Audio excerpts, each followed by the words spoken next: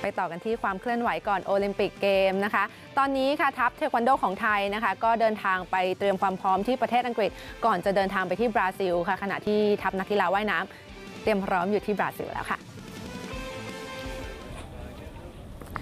ทัพเทควันโดทีมชาติไทยชุดโอลิมปิกเกม 2016 นะคะ ก็ประกอบไปด้วยพาณิภัค วงศ์พัฒนกิจ พรรณนภาหาญสุจินต์ แล้วก็เทวินทร์ หาญปราบ เดินทางถึงท่าอากาศยานฮีทโธรว์กรุงลอนดอนค่ะ เพื่อเก็บตัวช่วงโค้งสุดท้ายที่เมืองเรดดิ้ง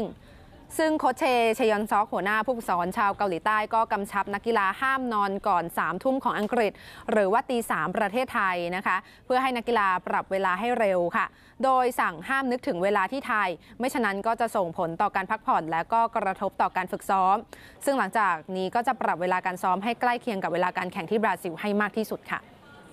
นิดนึงครับเป็นไงบ้างขณะที่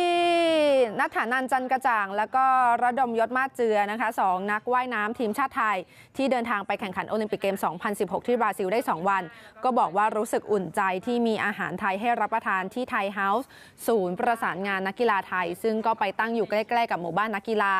รวมถึงชื่นชมเจ้าภาพที่วางกำลังรักษาความปลอดภัยอย่างเข้มงวดทุกหนแห่ง เพื่อป้องกันเหตุประท้วงจากกลุ่มที่ไม่เห็นด้วยในการจัดการแข่งขันโอลิมปิกเกมทำให้มีสมาธิการฝึกซ้อมได้อย่างเต็มที่ค่ะ